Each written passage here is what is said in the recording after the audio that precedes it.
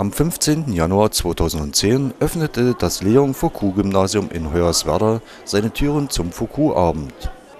Eingeladen waren besonders die Schüler und Eltern der jetzigen vierten Klassen sowie Interessierte aus Hoyerswerda und Umgebung. Diese hatten die Möglichkeit, sich über die kontinuierliche und erfolgreiche Unterrichtsarbeit am Gymnasium zu informieren. Wir sind ein städtisches Gymnasium hier in der Stadt Hoyerswerda, ein sehr modernes Gymnasium, wir sind vollständig saniert. Und wir haben zwei ganz, ganz starke Bereiche, neben dem allgemeinen Lernen und der guten oder sehr, sehr guten Betreuung bei uns an der Schule, den Sportbereich und den künstlerischen Bereich bei uns am Gymnasium. Der Name Leon Foucault ist ein sehr ungewöhnlicher Name. Äh, es gab in den Anfang 90er Jahren durch die Schüler den Aufruf, hier einen Namen finden zu wollen. Nicht durch die Administration, nicht durch die Leitung. Und dann hat sich gemeinsam zwischen Schülern, Eltern und, den, äh, und der Schulleitung hat sich dann dieser Name insgesamt in einem Abstimmungsverfahren dann durchgesetzt. Also es hat ganz konkret der Leistungskurs Physik vorgeschlagen. Wie viele Klassenstufen gibt es hier? Es gibt die Klassenstufen beginnend ab der 5. Klasse bis zur 12. Klasse. In Sachsen wird ja bis, bis zur 12. Klasse, oder ist ja auch gut, bis zur 12. Klasse das Gymnasium besucht und gibt dann das Zentralabitur. Der Foucault-Abend fand in diesem Jahr bereits zum dritten Mal statt.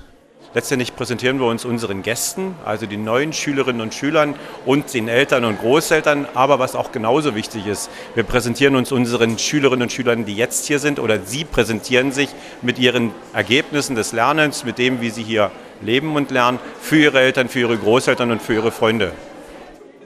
Vielfältige Informationen gab es an diesem Abend zum Thema Lernen in der Orientierungsstufe und zur Begabtenförderung, in der auf individuelle Stärken und Begabungen eines jeden Schülers eingegangen wird.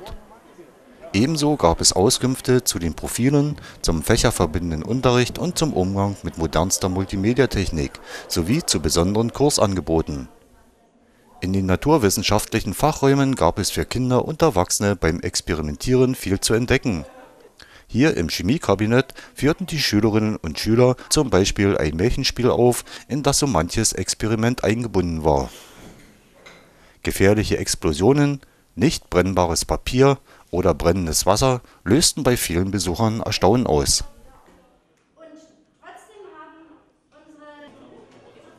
Auch bei den Versuchen im Physikunterrichtsraum herrschte reger Andrang.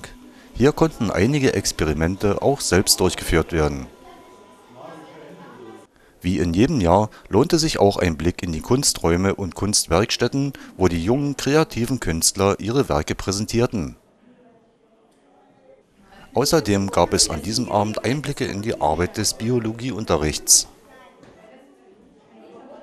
In der Aula des Gymnasiums präsentierten sich viele musikalische Talente und gestalteten hier ein kurzweiliges Programm Stolz können die Schülerinnen, Schüler und Lehrer auf ihre Schule sein, denn das Foucault-Gymnasium in Hoyerswerda erfreut sich schon seit vielen Jahren eines regen Zuspruchs. Der Zulauf in Sachsen und speziell hier in Hoyerswerda und auch für das Foucault-Gymnasium ist ein sehr, sehr guter Zulauf. Ich sag mal, wir sind in Hoyerswerda die Nummer eins. Wir haben seit mehr als 13, 14 Jahren die größten Anmeldezahlen bei uns am Gymnasium, haben sehr, sehr gute Abiturergebnisse. Ich denke, das ist wichtig, haben einen guten Wohlfühlfaktor bei uns an der Schule.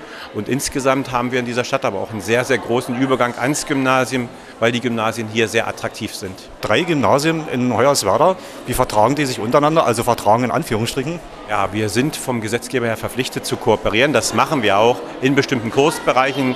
Aber natürlich stehen drei Gymnasien in einem ganz, ganz gesunden Wettbewerb, aber nicht gegeneinander, sondern das ist das Gute, um die besten Konzepte und diese Konzepte begreifen bei den Mädchen und Jungen für gutes oder sehr gutes Lernen, eben für gute Spezifika jeder einzelnen Schule.